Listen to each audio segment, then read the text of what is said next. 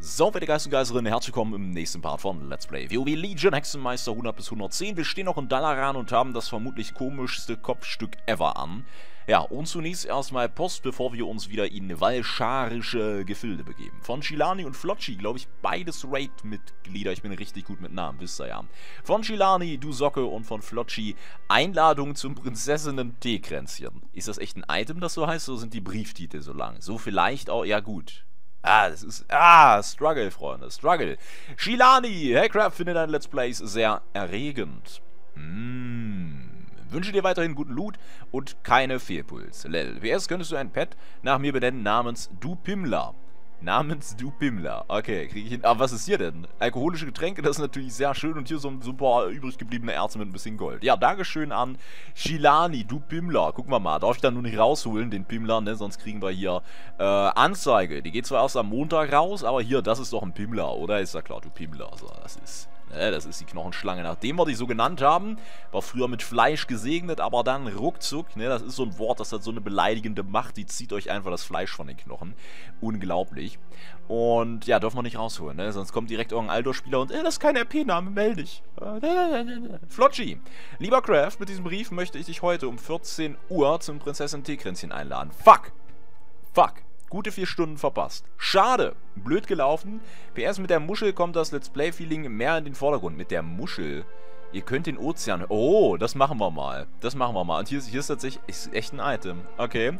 Flotchy Dave. Ja, Dankeschön für diesen Brief und die Muschel leider verpasst. Ja, extra Einladung noch zusätzlich geschrieben. Leider verpasst. Schade, schade. Aber wir haben noch ein Pet. Ich habe ja schon gesehen, die Knochenwespe direkt da drunter. Die sieht doch schön aus. Die ist sogar selten. Ne? Passt doch. So, Flotchy ist auch dabei. Und ja, wir gucken mal, ob wir denn was hören.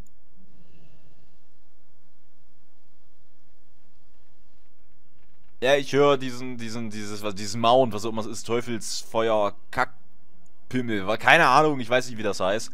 Ähm, funktioniert gar nicht, die Muschel. Ne? Könnte daran liegen, dass ein graues Item mit einem Fun-Effekt ist. Aber ja, Dankeschön für eure Post. Ich muss mal kurz gucken. Ich glaube, ich wollte euch äh, dazu cutten. Kann das sein? Wir waren in Valshara da hoch. Ja, die Flugroute cutte ich. Oder die Flugroute cutte ich. Wir wollen ja heute auch ein bisschen was schaffen. Ne? Wir müssen ja den Tempel verteidigen. Und so müssen wir mal den Albtraum da zurückdrängen. Ich finde es schön, dass unser Inventar von Äpfeln und Wichteln dominiert wird. Es gibt deutlich Schlimmeres.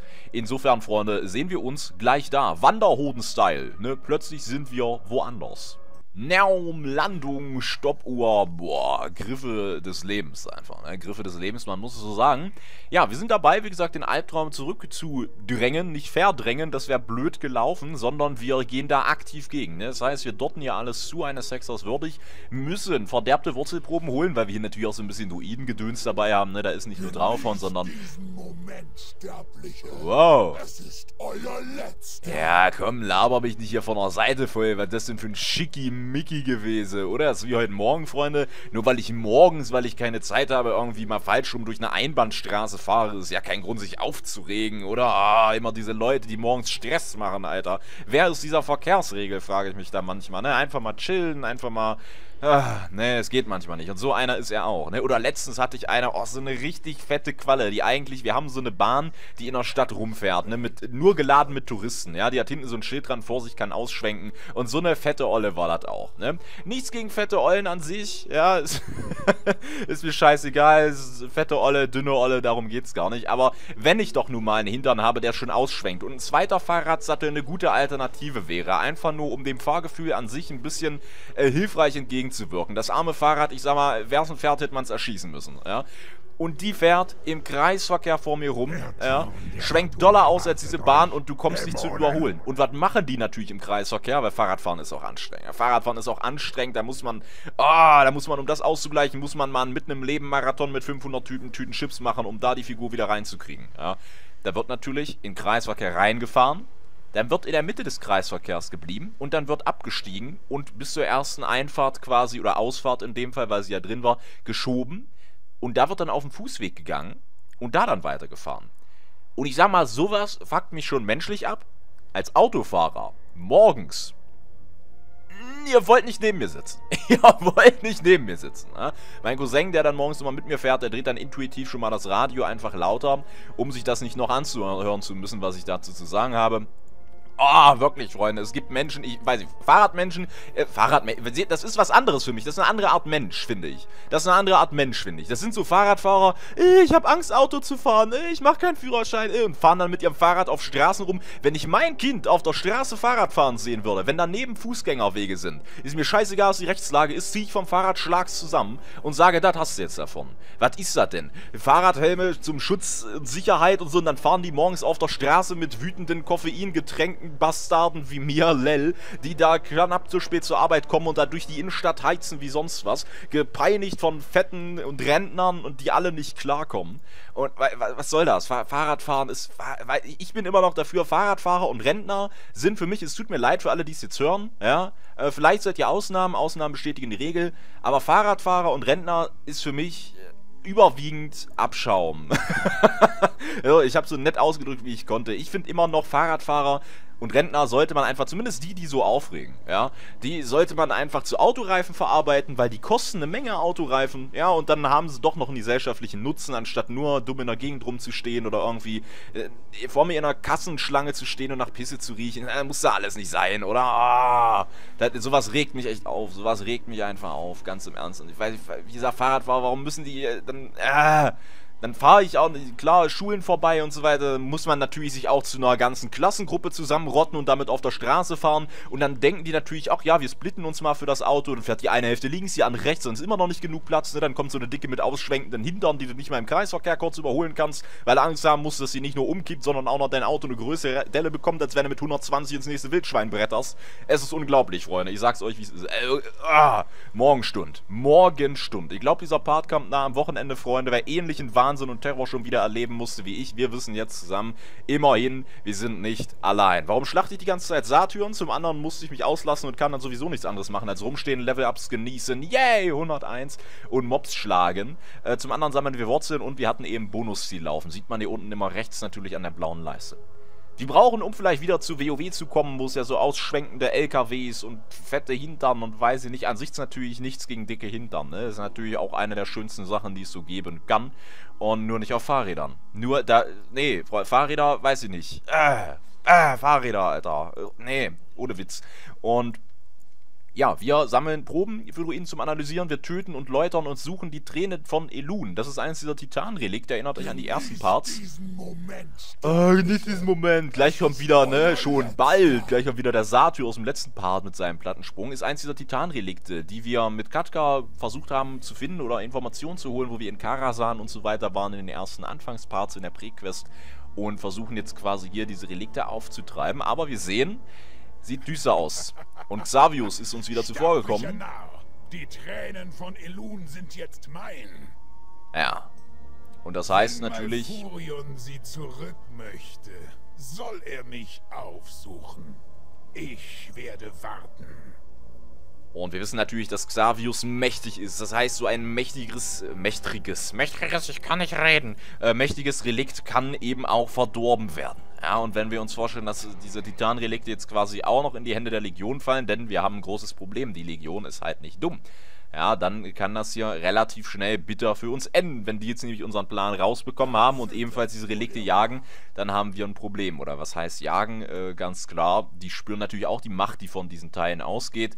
Insofern äh, bleibt eine Jagd. Sprecht mit dem Bürgermeister in Harsrow in Bradenbach. Warum wurde denn Harsrow nicht übersetzt? Was ist denn Harsrow? Herd? Oder, äh, ich weiß ja, Harsrow. Das, das klingt so komplett, alles wird eingedeutscht, ja, aber das Wort Harsrow, das sticht so raus irgendwie, ja.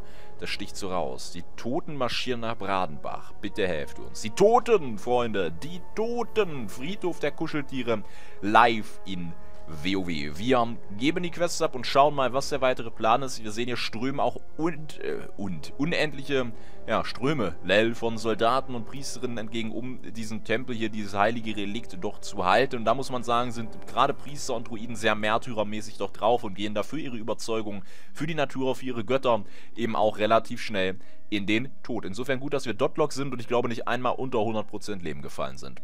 Leveln. Hardcore, was los? Verderbte Wurzelprobe. Es ist, wie ich befürchtet habe, Org. Diese Verderbnis, sie lässt sich nicht mehr umkehren. Und da hören wir was ganz, ganz Wichtiges. Das heißt, vielleicht gerade so können wir Szenarios tatsächlich noch retten. Ähm, ja, wenn Malfurion und Isera und so weiter zusammenarbeiten können. Aber an und für sich kann man also dieses Verdorbene nicht so weit äh, zurücktreiben. Das heißt, Shaladrassil, dieser Weltenbaum, den haben wir anscheinend verloren. Ja, man muss es ganz klar so sagen. Vielleicht noch ein kurzes Wort zum Raid. Tatsächlich äh, sind wir in der ersten ID-Woche mit unserer 20 bis 30 Mann starken Chaos-Truppe bis zu Xavius vorgestoßen. Szenarios war ein bisschen problematisch, ja, gerade weil man viele Leute koordinieren musste. Und Xavius 3,8%. 3,8% und dann haben wir gesagt, Freunde, nächste Woche, das ist zu mad. er liegt bald, Freunde. Und dann haben wir hier auch äh, unseren Fuß in der Tür, so ein bisschen. Ne? Besser spät als nie und ich sag mal, ich finde, zweite Woche ist jetzt gar nicht mal so spät.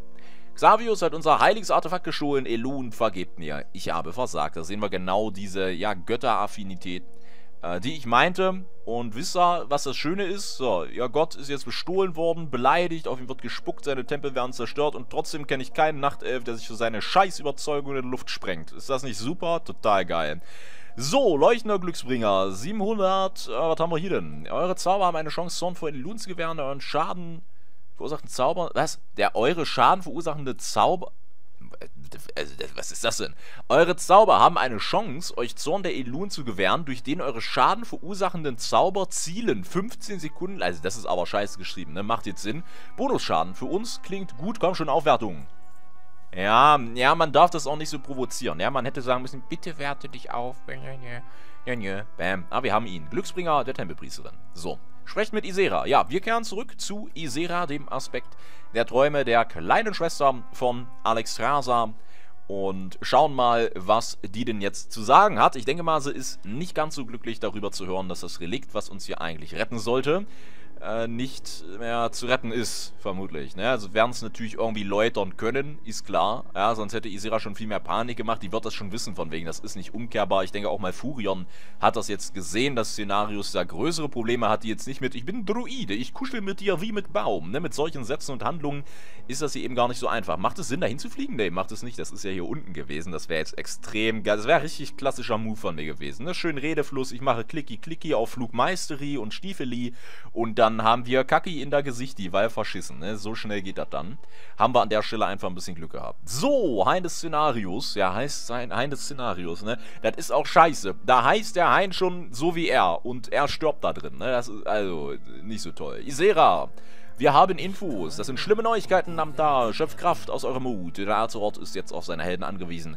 Mehr als je zuvor. Und man muss sagen, nach all den Addons, die wir hatten, hat sie damit auch noch recht. Unglaublich. Oder einfach mal noch die Kirsche auf das Eis gesetzt, ne, auf den Sahnehaufen. Sahnehaufen klingt, Sahnehaupt klingt so gay. Ja, Sahnehaufen ist viel cooler. Und die Würfel sind gefallen. Ja, es ist einfach so. Die Würfel sind gefallen. Wir brauchen Helden mehr als je zuvor, denn die Brennende Legion ist die größte Bedrohung, die ja Azeroth äh, tatsächlich in dieser Form konfrontieren kann. Wir schauen, was passiert. Szenarios konnte nicht geläutert werden, wird vom Albtraum vereinnahmt und in Xavius Reich gezogen. Verdorbene Seele, verdorbener Körper. Eins mit dem Albtraum. Ich habe hier bereits zu viel Zeit vergeudet. Es reicht! Malfurion, blind vor Zorn, sucht Xavius auf um sich ihm allein zu stellen, hat aber nicht genug Gold für schnelles Fliegen. Darum die Sequenz etwas länger. Der Verlust von Szenarius raubt Malfurion jede Vernunft. Eilt zum Weltenbaum. Womöglich ist er auf dem Weg dorthin zu jedem unbedachten Risiko bereit. Und auch die... werden wir beide seiner Spur von hier folgen. Malfurion darf nicht fallen. Ja, natürlich. Malfurion, spiritueller Anführer natürlich der Nachtelfen, mehr oder weniger. Gut, zwei spirituelle Tyrande als Hohepriesterin ist natürlich genauso ein spirituelles Oberhaupt. Aber nebenbei natürlich nicht nur da ein wichtiger Part für die Nachtelfen, sondern eben auch für die Druiden. Und jetzt auch ein Bindeglied zwischen Szenarius und dem smartgrünen Albtraum, Traum, Realität, whatever. Malfurion darf nicht fallen. Alles gesagt. Und auch die beiden Erzdruiden haben sich auf den Weg gemacht, um zu retten, was vielleicht nicht mehr zu retten ist. Und wir kriegen ein neues Epic Mount. Isera fliegt uns tatsächlich höchstpersönlich hin ziemlich cool, wie ich finde. Das ist schon, das ist schon etwas. Ja, das ist schon etwas, auch so einem Aspekt hier rumfliegen. Und immer noch so ein bisschen, ich finde, Isera hat... Furion ist von Zorn geblendet. Eine lange, düstere Vergangenheit verbindet ihn mit Xavius. Die kennen wir schon, habe ich schon erzählt. Selbst er kann sich Xavius nicht allein stellen. Wir müssen ihn finden. Die Zeit drängt. So sieht's aus. Alleine ist da nicht viel zu machen gegen diese Größe und der brennenden Legion. Und Isera hilft uns natürlich. Was wird nur aus diesem kostbaren Land? Auf alte Freunde! Ja, äh, direkt Onkelslied im Kopf. Es geht gar nicht anders bei solchen Formulierungen. Tötet 50 verderbte Kreaturen in Mondruhe, mit der Hilfe natürlich von Isera. Die rufen nach mir. Lasst euch von meiner Macht durchströmen. Yeah, und ich finde es recht cool gemacht, dass Isera nicht durchsichtig ist, aber trotzdem so eine immer noch so ein bisschen verträumte ätherische Gestalt ein bisschen aufweist. Ne? Sei es nur durch die Flügelmembran oder durch dieses Glitzer auf ihrem Kopfschmuck, so wie an unserer Sense hier. Ah, wir sind so sweet. Ne? Wir sind, wie sieht das eigentlich als Blutelf aus? Gucken wir mal. Ähm... Ja, ich sag mal, gut, dass der Part jetzt zu Ende ist. In diesem Sinne, Freunde, sehen wir uns einfach, ich würde sagen, der Einfachheit halber, ja, im nächsten. Bis dahin, haut rein, wir machen mal mit Winke Winke, voll geil. Tschüss.